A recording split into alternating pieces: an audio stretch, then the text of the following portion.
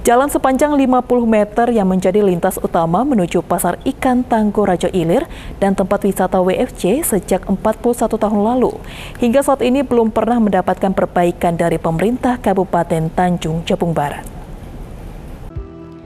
Akses jalan yang sudah ada sejak tahun 1970 tersebut setiap hari ramai dilalui para pengendara roda dua karena jalan tersebut merupakan jalan alternatif menuju jalan utama Pasar Tangko Rajo Ilir, tempat wisata WFC dan pelabuhan Marina.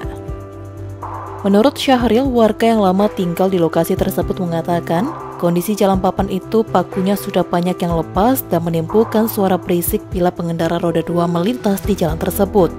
Ia juga mengatakan sebelumnya beberapa bupati dan tokoh politik sudah berjanji akan membangun jalan tersebut. Ia meminta pemerintah saat ini memperhatikan dan membangun jalan yang kondisinya sudah rusak parah tersebut. Jalan ini dari tahun 81. 81 ya? 42 tahun. Hmm, masih bentuk. Secara teori dalam sistem pengelolaan aset ini sudah bisa dilepas.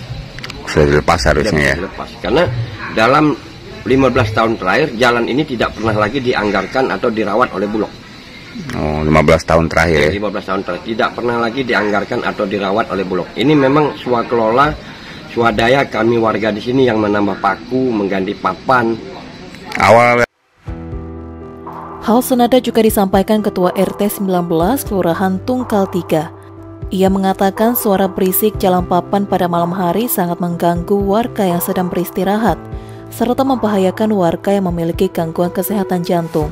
Salah satu warga bahkan harus dilarikan ke rumah sakit terdekat. Akibat terkejut mendengar bunyi gemuruh jalan yang masih menggunakan bahan papan kayu pulian itu.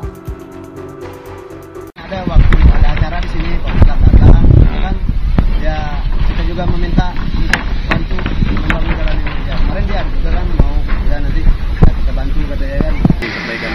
Waktu kejadian kan waktu tengah malam gitu kan hmm. jalan di sini ada yang melalui karena ribut-ribut gitu kan pas ada juga yang kena penyakit jantung itu kan kambuh hmm. ya sempat dibawa ke rumah sakit ya begitulah karena pendengaran dari jalan ini dilalui juga tidak ada lagi hanya kami yang di sini kan Jalan sejahtera yang terbuat dari papan ini merupakan salah satu jalan yang belum tersentuh pembangunan pemerintah, sekalipun berada di lingkungan pusat kota Kuala Tunggal.